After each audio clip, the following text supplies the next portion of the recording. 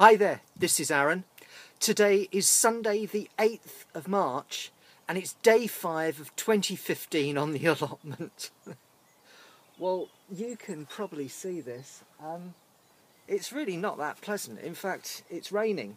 This is supposed to be the weekend where we have the heat wave and yesterday was gorgeous and uh, I left the house to come up here. It's just after midday and uh, in the time it's taken me to walk here it's clouded over and now the rain's going to come down.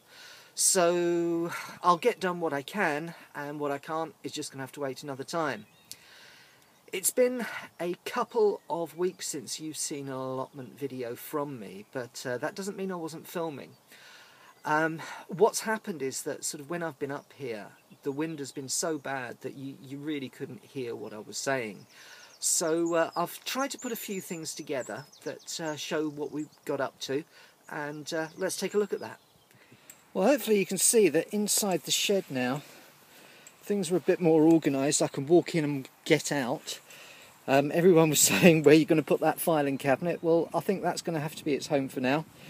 Um, inside the shed um, got a few things happening with the garlic there. Um, although I certainly want to be giving it more light because you can see that the ones that are getting the light are the ones that are responding and the ones that are not are not. Um, potatoes continue to not chit but preserve so I mean that's good. Um, as I say I'm not that worried about the chitting uh, this year. I just want to make sure that uh, they're still decent enough when I put them in the ground. There were a few people that were asking about Cheeky and uh, what's happened to him. Well, here he is, and he's found his new home in front of the shed in amongst the rhubarb, so uh, I hope he's going to be quite happy there. Now, I also saw on Mark's video that he said his rhubarb was going to be ready in a few weeks. Well, by the looks of things, this is going to be ready as well. I also saw a video from Sean when he said uh, you can force rhubarb once every three years. Well, I don't know when this was forced, so I'm not going to force it this year, and I'm not going to force it for the next couple of years. But what it does look to me as if it's ready to split. So at the end of the season in the autumn, I'm going to dig this up and split it so that uh, I can have quite a few more rhubarb plants and uh, probably even share this with uh, a few of my allotment neighbours but uh, looking forward to rhubarb.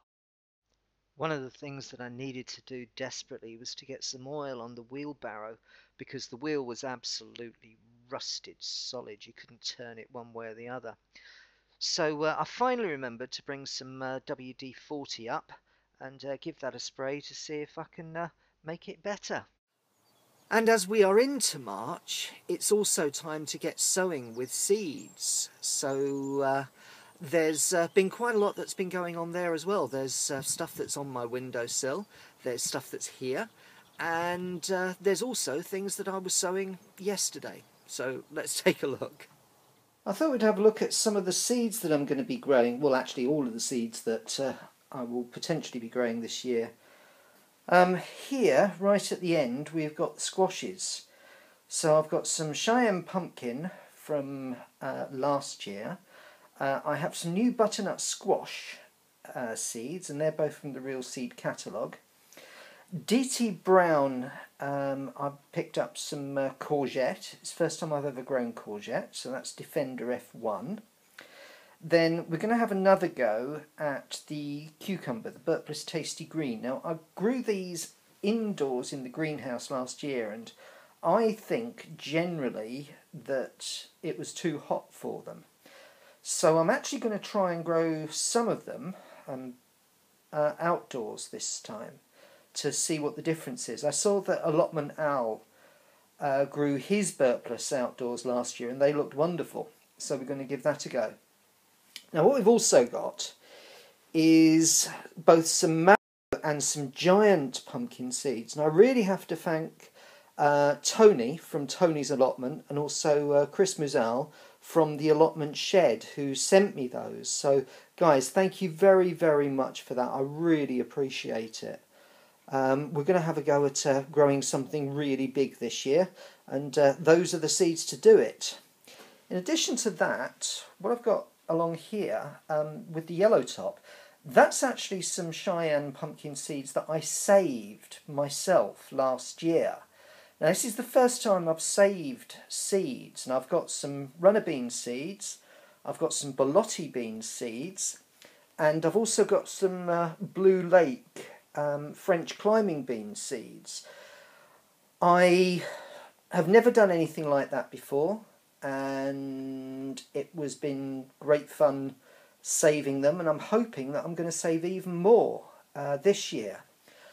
To go with the beans, I've got some uh, Giganti Greek beans and uh, also some uh, Douce Provence. I grew the Douce Provence last year and uh, uh, I did get some, but I wasn't amazingly happy with the results. But I, I know a bit more now about how to grow peas and so I'm hoping for a better show of things this year. Coming down again, we've got um, my alliums. So you've seen me sow uh, the yellow Rijnsburger and the Kelsae.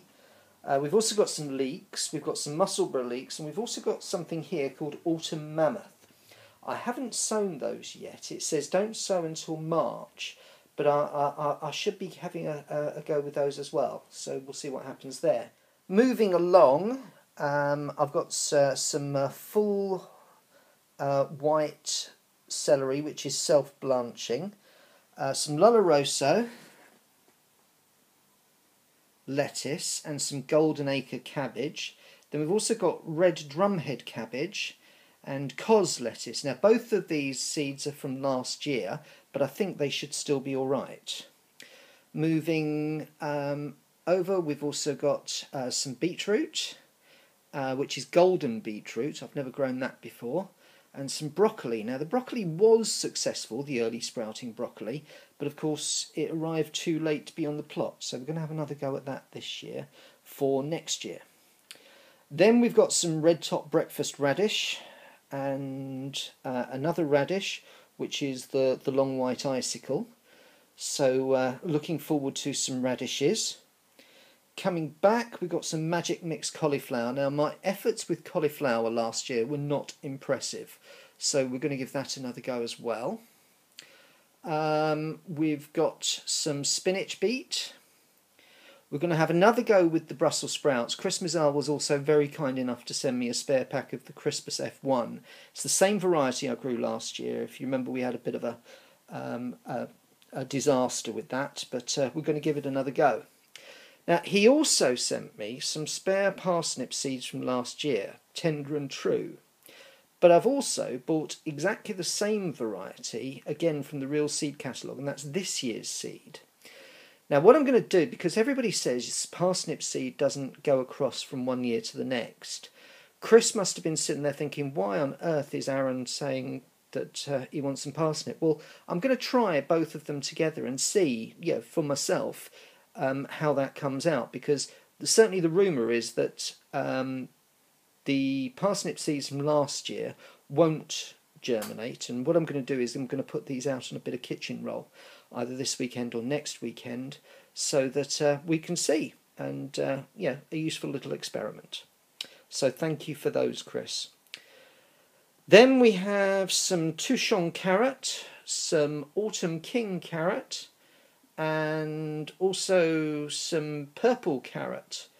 So uh, plenty of different carrots there that uh, can be grown.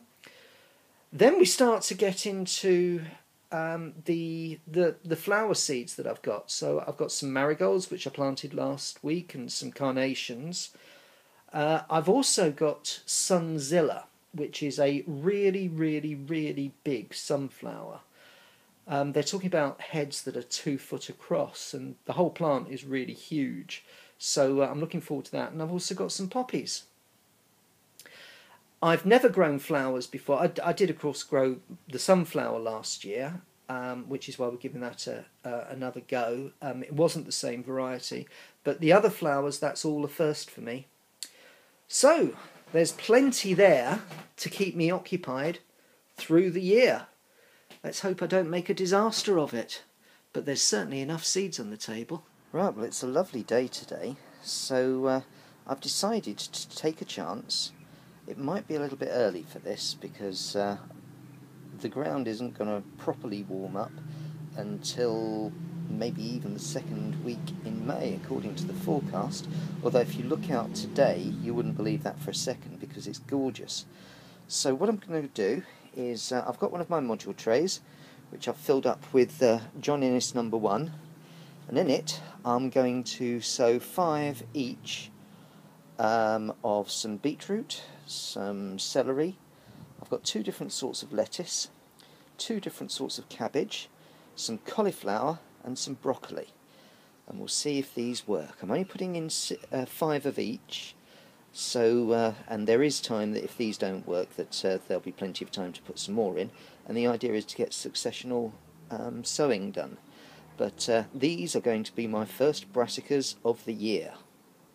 So I've got my brassica seeds in now. At the top we've got the uh, beetroot, and then next to the beetroot is cauliflower. Further down is some uh, self-blanching celery. Then we've got two rows of lettuce, a row of uh, broccoli, and then these two at the end are the golden acre cabbage and the red Drummond cabbage. So uh, that's a nice selection, and uh, I'll get some water, get them covered up, and uh, let's see if they come through. I've put sort of two and in some cases three seeds in each station because they are last year's seeds and I don't know if they're going to have a reduced um, germination rate but uh, hopefully I've covered my bases there so that at least one will come through um, in each station and if not I'll just put some more seeds in. Now what I've also got is some deep root trainers. I actually bought three of these and uh, what I'm going to do is I'm going to uh, take a chance and uh, put some carrots in. I know it's early, but uh, with weather like this, if they can get enough of a start, then just as the ground is um, heating up, I can put them in.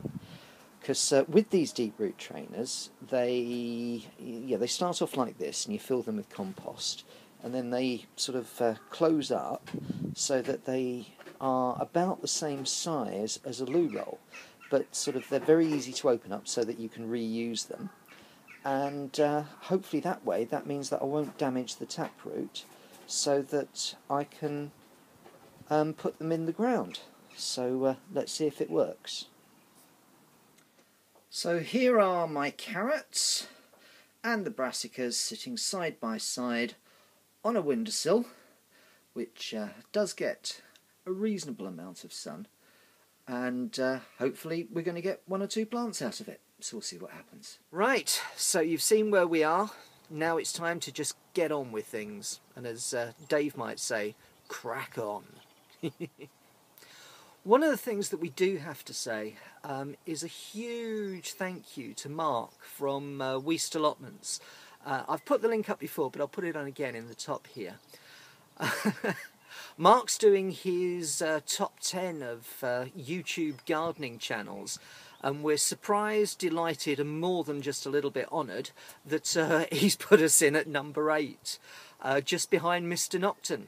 Um, now, everyone in front of me really does know what they're doing, and so I do feel a little bit like a fraud being put in there, but uh, I'm really, really glad, Mark, that you enjoy the videos. Thank you very much for this accolade. And one of the other things is in Mark's last uh, video, he was talking about getting the famous 30 and 35 litre buckets delivered and uh, I, I'd been looking everywhere and you know there's 45 and 55 and 60 quid for 10 and uh, that was starting to look a bit expensive. And Mark put a link up to say uh, well you know you can get them here delivered for 28 29 quid.